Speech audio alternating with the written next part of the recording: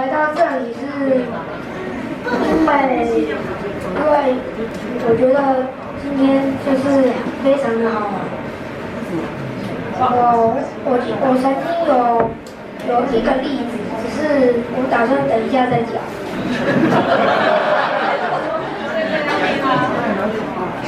大家想要听你？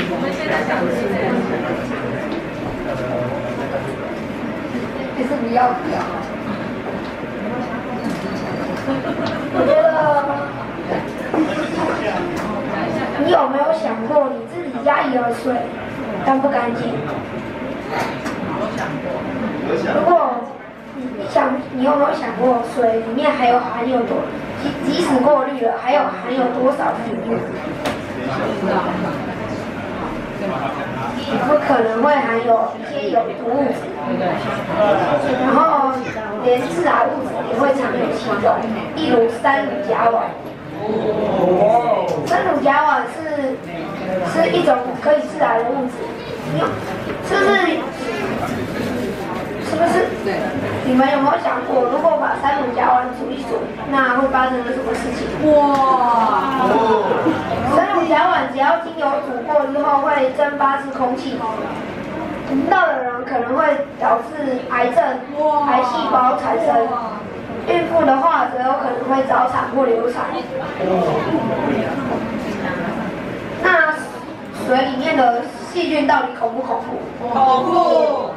那你到底要换一台净水器呢，还是还是要继续让病毒危害你自己的身体呢？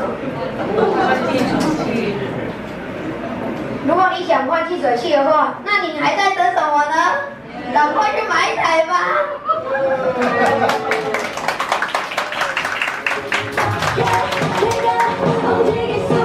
好，再次谢谢我们的米粒，哇，他有没有很厉害？哦，他都是在这个教室哦，不断的哦跟跟父母哦一起进来教室哦做学习，然后他在学校当中又有去做哦有有很会问老师的一个小朋友，他是一个非常聪明的小朋友，而且他还刚才还还说他同学哦他的外婆哦就是因为。就是长期喝熬水哦，他而而且喝到说他割掉一边的肾脏，而且另外一边肾脏还要洗肾哦，好，所以说所以所以我们的水质是不是很重要？对，好，那所以我们人体啊百分之七十都是由水做成的，哦，所以说我们水质哦它。占了我们大部分的一个身体的一个生活哦，所以说我们家里的饮用水真的是要好好注重一下。好，那大家刚才是不是有了解到说，我们刚才不是有一个法国的天然矿泉水？好，是不是一瓶四十五块？对。那假如说一家四口的话，一天要花多少？一百八嘛，对不对？对。然后一个月嘞？是不是要五千四？哦，那一年就是六万四千八。哦，其实它是一个非常高的一个花费哈。那像我们这台净水器，它只要三年一次哦。其实大家可以去做做计算一下哦。其实换一个净水器其实是蛮蛮省钱的，而且对我们身体的健康是很有帮助。我觉得健康的。价值哦，远比我们金钱的价值来的重要哦。那所以说，我们今天哦，大家如果还有没有盖章，可以偷偷来找我。好，好，一定要忘记。好，谢谢我们，呃，欢迎我们主持人。好还愿意让你盖章哦。那接下来呢？好像可以在这边美容的部分，有很多的朋友们，他可能有一些卸妆的问题呀，或者一些化妆的细节，可能不是很清楚。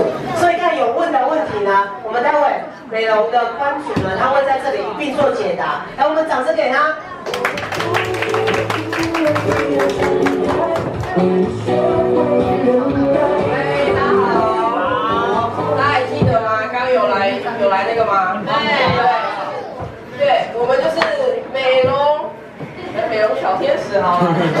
刚刚是不是大家有就是修眉？对，还有就一开始最就是保养，所以刚刚还蛮多蛮多就是来问说，哎，为什么男男生都问说，为什么我没化妆要卸妆？对，为什么？是不是很多男生都不知道要卸妆这回事？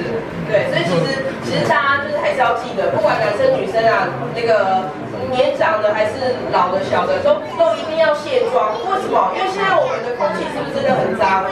真的，所以其实现在外面空气太脏了，会整个附着在我们的脸上。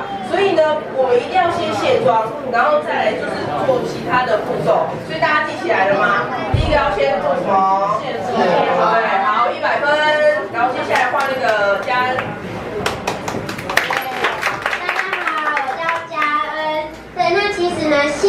你只要卸得好，你的皮肤就白了一半了。对，那我刚刚发现一个很奇妙的现象，就是我刚刚班，因为我是负责底妆的，哎，我发现其实有很多男生其实都很愿意尝试画底妆。那刚男生会觉得说，哎，化完化妆会不会很很娘，就是很像女生这样子？可是其实化完之后，并没有，并没有很像女生，就是会让你让你的气色会变更好，对，就觉得哎，他们在照镜子的时候，觉得哎，没有没有那么的想跟想象中的是完全不一样，对。那这是我分享，那我们接下来把最重要的时间交给我们那个修眉毛的老师品杰。大家好，我是品杰。那我刚刚是负责修眉毛边。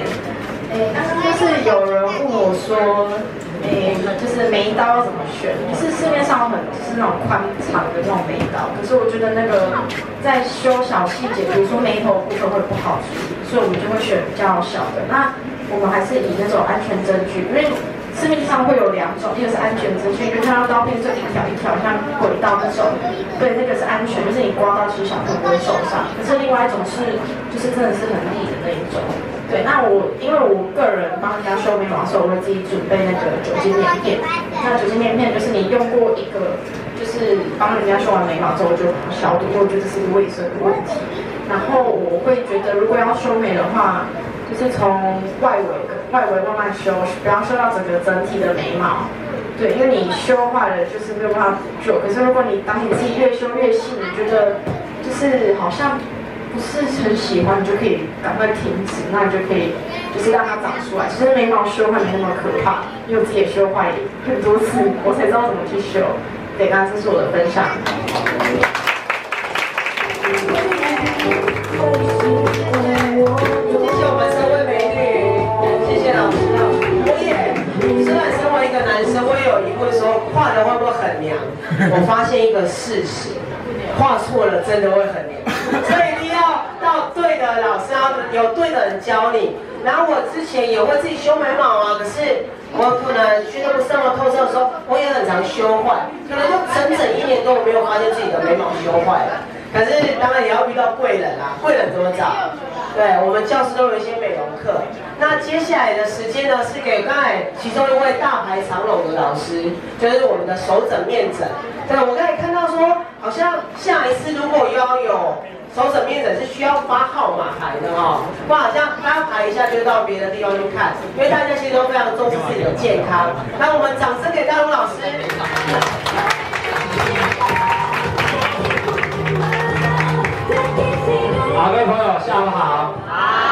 我虽然是大牌，但是不是长龙哦。哎，我大牌长龙，简称叫大龙，没有错，我就叫大龙老师。啊，那那个刚刚有被我手面诊咨询的朋友，请举手一下。哇，谢谢你，谢谢，谢谢。哇，连小朋友都有哦，太棒了哈。好，那那个呃。大部分的朋友呢，我都是第一次认识你们哈，所以我就是根据大家的手啊、手掌啊，还有你的脸啊，哦，还有你的身体其他部位呢，来告诉你一些建议啊。那也希望大家呢能够接受哈。那呃，大家猜猜看，我白天的工作是什么？不知道。我白天工作呢是一个驯兽师。马戏团。全名叫国中老师。啊，对，因为在场很多小朋友嘛，对，然后我，所以我很多人害怕吓到他们这样子。好，那那个呃，今天中午吃饭的时候，啊，我遇到了一个朋友，那我就坐在他对面吃饭，我就请他猜我几岁。你们猜他猜我几岁？三十。二十八。他猜我大概二十八岁。哦。然后我问他，那你猜猜看我是什么工作？他就说我在做设计类的工作。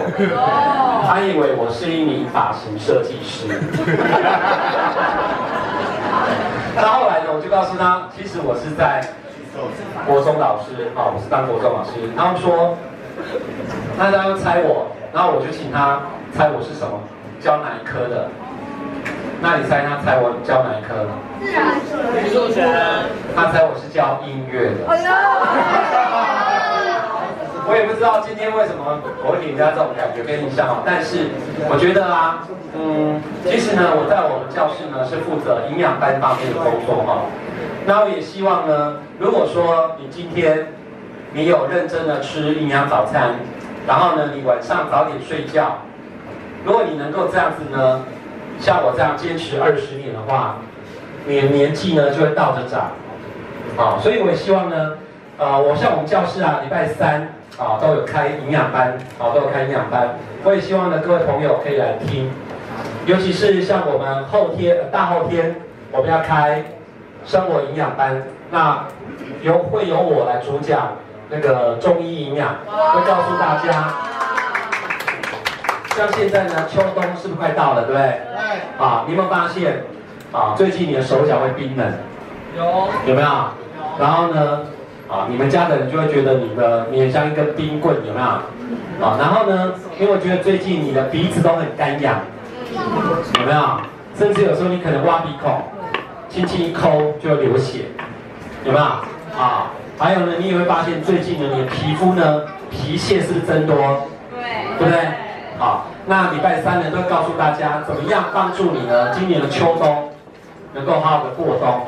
好，那现在教大家的一个。很简单的一个呃，可以观察你自己健康的一个方向啊。首先啊，我们可以观察一下你隔壁的人的嘴唇。隔壁的人。好，通常我们正常的嘴唇应该是红润饱满的，对不对？对。好，那如果说你隔壁那一个人的嘴唇呢，啊，比较干有皮屑的话，那表示他最近怎么样？缺水。缺水。对，缺好水有没有？啊，所以看一下你隔壁那个人的嘴唇，有没有？啊，是不是？然后请请跟你旁边的那一个人呢说，你要多喝水哦。好，那接下来呢？接下来，大家可以再看一下你隔壁那个人嘴唇中间有没有一横一横的纹路？有没有唇沟？如果有的话，那表示他最近呢工作很辛苦，晚上很晚睡觉，表示你的表示他的肝脏呢很疲劳，请跟你身边那一个人有唇膏的人说，你要小心肝哦。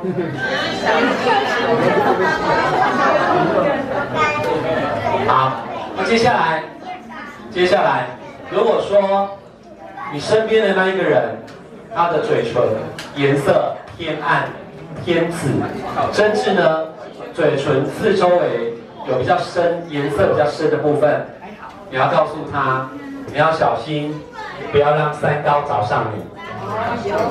好，这样大家了解了吗？好，所以从这些地方呢，我们可以知道一些维持健康的小秘诀，好不好？好，那我都很希望我们今天下午有来的朋友们。